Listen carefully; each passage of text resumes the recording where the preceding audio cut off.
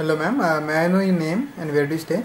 Uh, my name is Shraddha Doshi and I stay in Borivali. How old is your child? She is 10 years old. So, what kind of activity you were looking for her?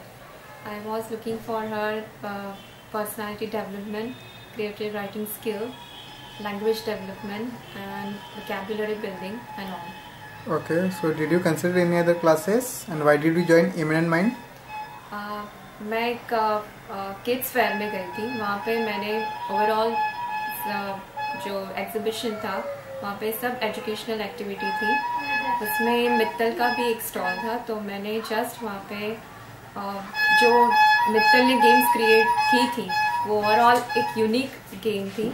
So so, मैंने वहाँ पे inspire होके तुरंत ही मैंने वहाँ पे enrol किया और इसका कॉन्टैक्ट नंबर लेके और मैंने okay.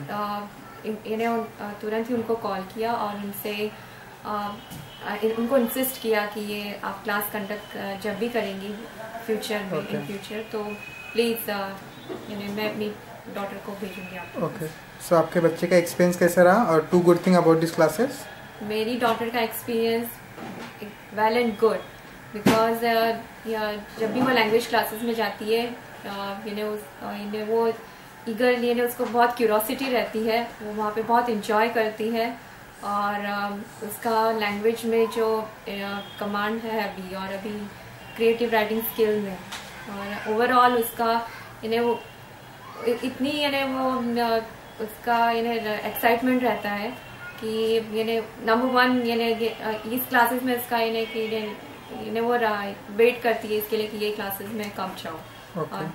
To good thing about this classes to good thing uh, uh, uh, now my, my daughter she is too confident और मैं ओवरऑल यानी उसका जो यानी उसका उस, उसकी लैंग्वेज में जो इम्प्रूव हुआ है तो बिकॉज़ ऑफ़ उसका अभी वोकेबुलरी बिल्डिंग और उसका राइटिंग स्किल और उसका रीडिंग यानी उसका जो इंटरेस्ट बढ़ा है तो ये. ये तीनों क्वालिटीज़ उसमें जो मैं मुझे, देख यानी मुझे चाहिए थी वो मुझे यानी एज अ रिज़ल्ट मुझे सब मिला। Okay so is there anything can be improved in this classes nothing because every everything is there okay so on a scale of 1 to 5 how likely you this play school to other parents 5 is the maximum 5 5 या I will definitely give 5 thank you ma'am